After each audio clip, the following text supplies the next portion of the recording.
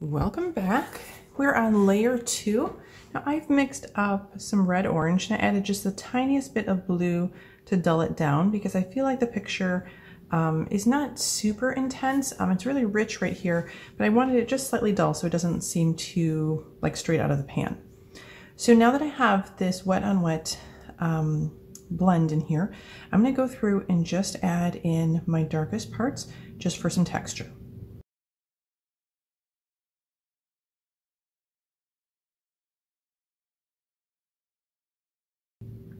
Okay, now I've done those pretty quickly. I'm going to take just a wet brush and just fade away some of these edges ever so lightly.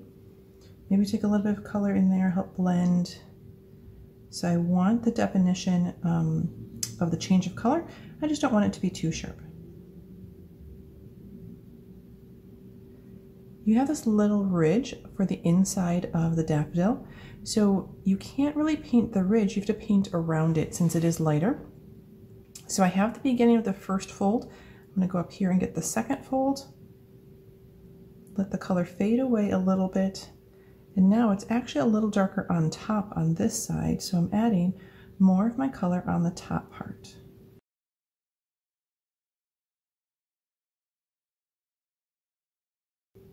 If you want, you can go back in with some yellow and really intensify the yellow on the inside.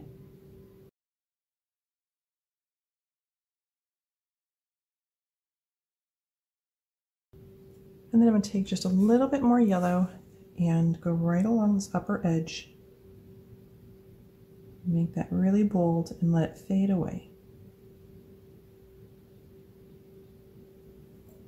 Remember, watercolor will re-dissolve if you just add some water. If you have some sharp edges, just take some water and lightly blend away.